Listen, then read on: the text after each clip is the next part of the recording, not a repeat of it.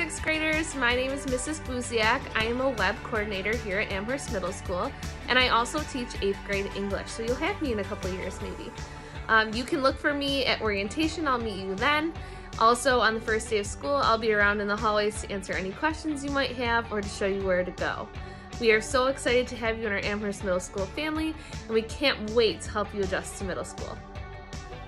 Hi, I'm Mrs. Whitten, a sixth grade math teacher and one of the web advisors. I'll see you at orientation, and anytime you need help opening your locker, I'll be around in the sixth grade wing to help you. See you soon. Hi everybody, my name is Miss Farron. I am one of your web coordinators this year. I'm also one of the school counselors here at the middle school. So if you're in need of anything, you can always find me. I'm on the first floor, all the way down the hallway, right before you hit the staircases. And I hope to see you guys soon. Bye. Hello, I'm Mrs. Terry. I am one of the web advisors, and I'm also one of the school counselors here at the middle school. I will see you at orientation, and I'm also going to see you those first couple weeks of school. I'm going to hang out in the cafeteria, make sure that you get through the line okay, and that you find your home-based friends and have a great place to enjoy your lunch and meet new people.